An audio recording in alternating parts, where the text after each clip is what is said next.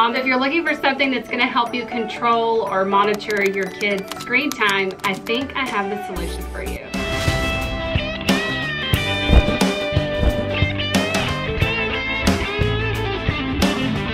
Some of you may know that I have a 10-year-old son and twins that are six years old, and we are definitely a technology family. My girls have had iPads since they were, I wanna say three or four. Both my girls and Braxton are to the age now that they are pretty smart and savvy with their iPads and their iPhones. And by the way, anytime I show their iPads, I always get questions about their covers, these little princess uh, crown covers. I'll try to find them on Amazon. That's where I got these. If I can't find the exact ones, I'll try to find you guys something similar, but they have held up very well I mean, as you see, these iPads have lasted like three years, no cracks or anything. So anyways, the girls are really savvy now and so is Braxton with their iPads and their iPhones. Before installing this app that I'm gonna be telling you about, uh, the girls somehow figured out how to go into the App Store and download apps. Kids have no idea if they're purchasing something that costs money what they're purchasing. So up until a month ago, their iPads have not been controlled other than the fact that usually they're on them when they are around me. Now Braxton, in the past, I did have uh, another service that I used to monitor his Android. But when we switched him over to an iPhone, I wasn't thinking, I had no idea that the previous service that I was using didn't support um, Apple and iPads and I was no longer to, able to even use that. So I had a company called Kidslox reach out to me and I was ecstatic because I was actually on the hunt for another service similar to the previous company that would actually work on Apple as well. Not only did it work with Apple, but it, the user interface and just the, the way it works is so much easier than the one that I was using before. I haven't come across any kind of bugs or anything like that. It's super simple to use, but it does everything I need it to do and more. So Kidslox is an app that you just download from the App Store. It looks like this with a little lock on it. It was easy breezy to set up all three of my kids' devices. So currently I have Braxton's iPhone set up and then also the girls um, have iPads. I have some really exciting news. I'm gonna be giving away from this video two six month plans for two of the viewers of this video. I'm gonna have all of the details down below in the description, so definitely go check that out. It's super easy to enter this giveaway, and I'm so grateful to Kidslox for giving me the opportunity to give you guys a six month subscription. So, but they do have different plans. They have a lifetime plan, which is what they gave me for checking this out and so let's get down to the fun stuff. I'm gonna click on Braxton's iPhone.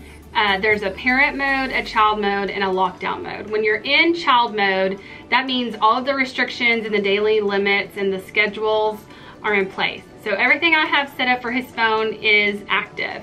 When I click on lockdown mode, that is locking down his phone. He will no longer be able to get on the internet or um, any of his apps or anything like that. Shutting it off, Braxton. Why, Mama? Mama turned it off. Oh. And for the girls, it's really nice because they are upstairs. We live in a two-story house. So if I'm in my bedroom and I realize, oh, the girls have their iPads in their room. I must have forgotten to take it away from them. All I have to do is push this button in lockdown mode and, and it's gonna shut down. They won't be able to do anything on their iPads. So um, when mama's clicked lockdown, you, you know it. You can hear them. Oh, what happened to the internet? Okay, so now we're gonna go over to the restrictions uh, section. When their phone is set into child mode only, this is the restrictions that um, take place. So I have his entertainment unlocked. Uh, that's how he listens to like some of his music. Entertainment section, you can lock it or unlock it. That's gonna be like Spotify or Musical.ly, things like that. Uh, games, Roblox, you can lock it or unlock the game. Lifestyle, other, let's see, social. Uh, web browsers, I always have Safari on lockdown.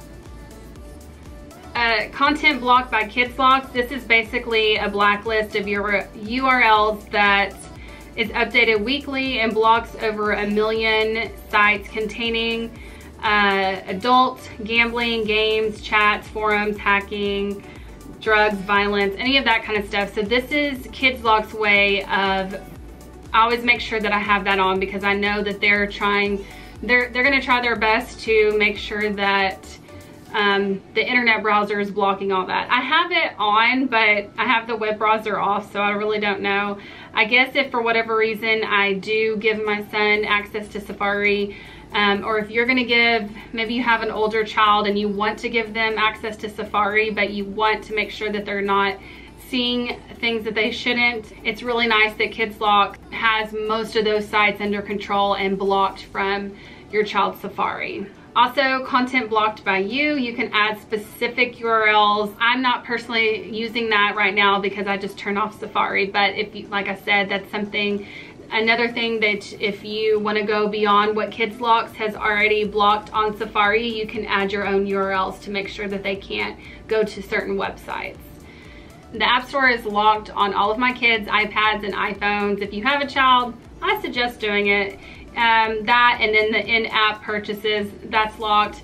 Basically, if they need to purchase an app, they need to come to me and I'll do it myself. Um, there's definitely been times like I said, that I didn't have this app and all of them at some point have purchased or downloaded for free apps without my permission and I wasn't happy about it. So I love, love, love, love, I love this feature that I'm able to block the App Store. That is not something with the previous company I was using, um, that was not something that you were able to do. And so I'm really excited and have been loving the fact that none of them can go to the App Store. Uh, I've got the Game Center blocked, not even really sure what that is.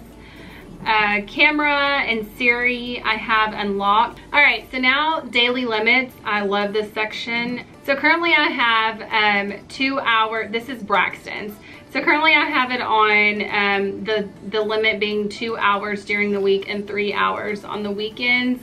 Um, but I do find myself occasionally um, adjusting that. So it just kind of depends. They rarely ever go over these time limits. Just know that that's an option and that's available for you. Um, but I do know my son sometimes uses his iPad to listen to music and things like that. So um, occasionally I will extend the amount of time on there for him.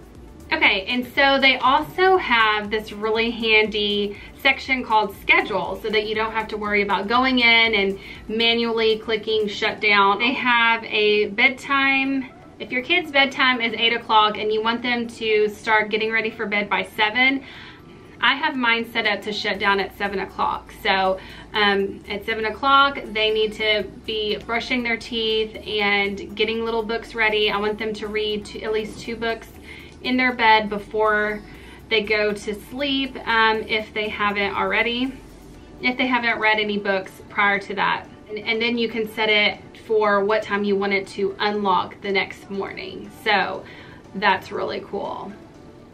So I've really, really enjoyed using this app. Children thrive on uh, schedules and just kind of knowing their limit. If you tell your children the limits up front, you are only allowed to get on your iPad one hour a day. That's the rules. You will not get on your iPad or your phone after seven o'clock. That's the rules. And the fact that it just kind of does it manually and they already know it's going to happen, I feel like it makes you kind of less the bad guy. They're not having to say, okay, hand it over. Uh, you know, Braxton, hand me your phone. It's time to put it away. You don't really have to feel like you're the bad guy. It just happens and they know it's gonna happen. It's just kind of part of the routine if they if they're on it and like i said my kids aren't on it all the time or anything like that but if they are and it does shut down on them they know that's just the rules and they're okay with it because they know that's just kind of part of our daily routine. I've told them that they should be using that their extra time to be playing outside. Go outside and play basketball. Go jump on the trampoline. Technology can be great, but there there's definitely needs to be a limit. And I, I know I told you a little over a month ago that I was gonna be trying this app out. If you follow me on Instagram, you got a little sneak peek and I occasionally have showed you this app. And if, so if you don't follow me on Instagram, I'm Southern Mom TX, so definitely go follow me. I'm pretty sure that's one of like the two or three things I ask you to do to join the giveaway. If this video helped you at all in any way, I'd really appreciate you give me a thumbs up down below. It helps me. Um, it helps my videos get seen. So I hope this was really helpful for you guys. I highly, highly suggest, like I said, if you have children that have um, iPhone, I know Kidslox is able to monitor different platforms, so not only Apple, but Android. Again, I'll leave the link down below that'll give you more details to that.